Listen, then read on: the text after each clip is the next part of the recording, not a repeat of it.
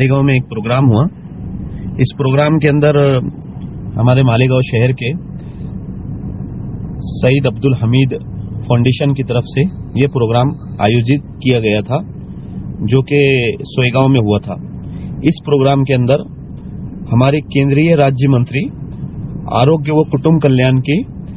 माननीय doctor Bharti Pawar madam आए हुए थे और इन लोगों के हाथों से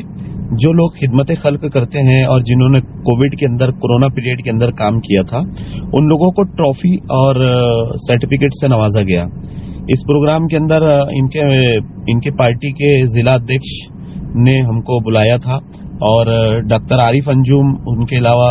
हमारे लुकमान अंसारी साहब और मालेगांव के बहुत सारे समाजी लोग वहाँ पर मौजूद थे। और इसके अंदर अवार्ड देने में मैडम ने अवार्ड दिया मैडम के हाथों से अवार्ड दिया गया और इसके अंदर हमारे मालेगांव शहर के सफीक एंटी करप्शन साहब और शकील तहराक साहब और उसके अलावा एजाज खाटिक साहब, इन लोगों को अवार्ड से नवाजा गया और उसके अलावा हमारे डॉक्टर परवेज फैजी साहब, इनको भी इस अवार्ड से नवाजा गया। तो हमारे देश की जो कुटुंब कल्याण मंत्री है इनके हाथ से इन लोगों को सर्टिफिकेट और अवार्ड से नवाजा गया।